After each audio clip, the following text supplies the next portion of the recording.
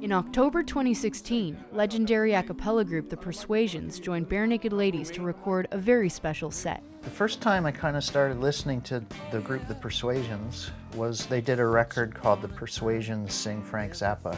I'd also done work with Lou Reed over the years, and at Lou's memorial, The Persuasions sang a song.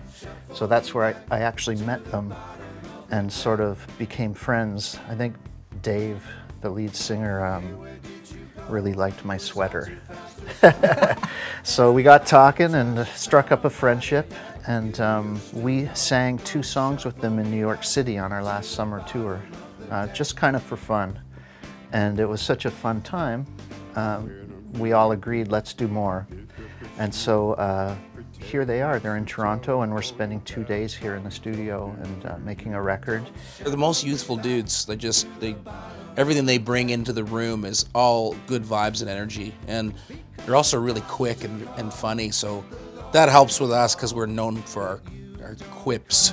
Feeling but sing it natural. Be big but make it quiet. Soft but with a lot of volume. Yeah. oh yeah.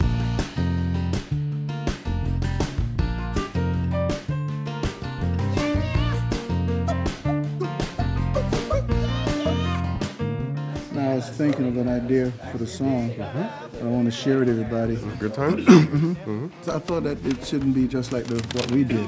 Okay. Because there should be room in there for the, the, the, style of the music of Barenaked Ladies to come shine through. I've said to Ed, hey, maybe write a little rap because he likes to rap. And he did. Okay. Uh, so I took you seriously and, and wrote a verse. Wicked! Cause maybe I'm the one. Before you know it, good times begun. I know about bad times, had my share. That was before I had wrinkles and before I had gray hair. Made a nice dinner, bottle of wine. So come and sit next to me and have a good time. Why not play?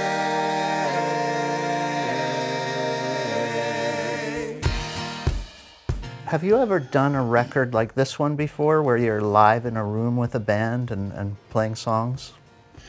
Not really. No, no. This is no. this is a new experience. No. Yeah, new we experience. we've recorded uh, before with a, a, band, but not like that. Mm-hmm. Yeah, this is a yeah. we're a cappella.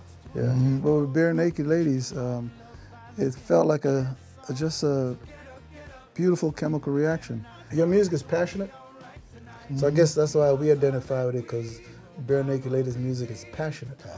So we can feel passion. So I think that's why it was a natural mm-hmm. union. Hit by the That was so fun, man.